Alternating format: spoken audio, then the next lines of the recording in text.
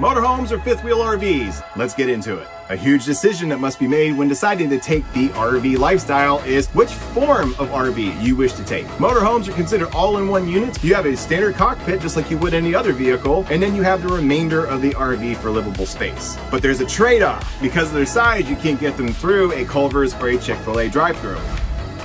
This requires you to tow a vehicle if you wish to explore the location you're camping. Fifth wheels, on the other hand, may be the same length as a motorhome, but every foot of that RV is livable space. Whereas the front of a motorhome is the cockpit, over the pin in a fifth wheel RV is usually the bedroom. Now you're towing a trailer. Despite being advertised as half ton, fifth wheel RV trailers usually require a three quarter ton, one ton truck. Now all you do is drop your trailer, get in your truck and go. Cool thing is if you need a toy hauler, a fifth wheel RV is where I would start looking. This is Chris from Chris Travels, and that was a quick tip.